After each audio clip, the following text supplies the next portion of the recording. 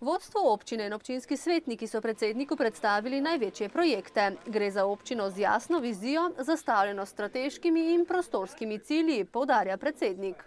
Seveda je v tem času zelo pomembno razvijati infrastrukturo in tu se mi zdi, da bo občina potrebovala čim več razumevanja tudi na državni ravni pri razvoju recimo eh, infrastrukturnih objektov, kanalizacije, interneta, cestne, obvoznice in podobno. Bil sem presenečen nad njegovim poznavanjem naših razmer občinskih in tudi računam na dobro besedo, na njegovo pomoč pri naprezanjih za napredek občine.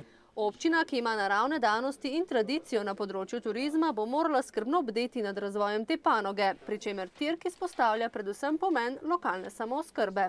Jaz mislim, da je povezava med lokalnim pridelovanjem, lokalnim kmetijstvom in lokalnim turizmom lahko zelo perspektivna kot dejavnik graditve kakovosti turistične ponudbe.